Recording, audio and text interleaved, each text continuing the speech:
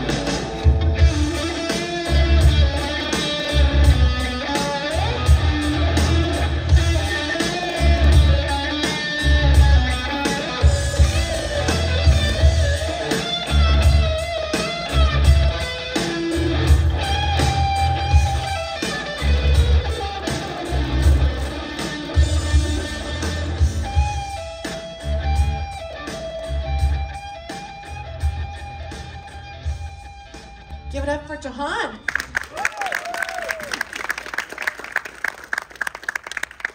That was great. Can you tell everybody what three songs those were that you did? So they were We Will Rock You, I Love Rock and Roll, and Back in Black.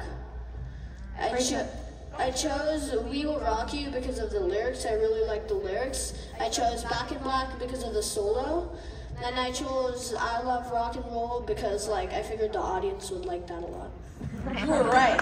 Great job, Jahaan. Judges, what did you think, Alicia? Okay, uh, Jahaan, you uh, pick some serious stuff sometimes. So last year you did It's My Life. Do you remember that? Yeah. Yeah, and I think I made a note, smile when you sing it, but it was, a, you, you did a great job. See, You spent a lot of time doing this. So a mashup is what?